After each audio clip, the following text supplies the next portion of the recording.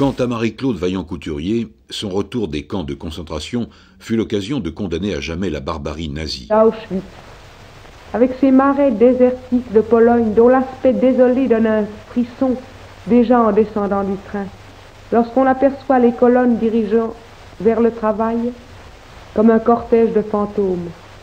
On avait l'impression que rien d'humain ne pouvait résister à cette mort qui vous frôlait sans arrêt.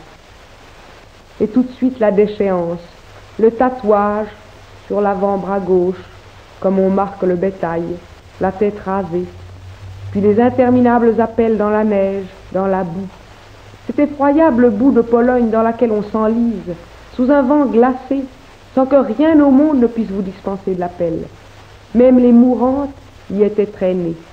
Aussi était-il fréquent, après l'appel, de relever les morts qui avaient roulé dans les fossés.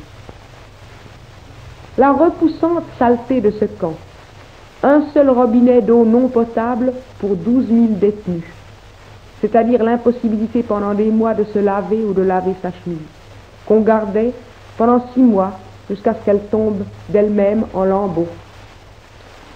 Les paillasses grouillantes de poux, de vermines de toutes sortes, les gamelles à soupe que les femmes utilisaient la nuit pour leurs besoins, parce qu'elles étaient trop malades pour sortir du bloc, et qu'on récupérait ensuite simplement, on les passait à l'eau froide avant de les remettre en circulation pour la soupe du lendemain.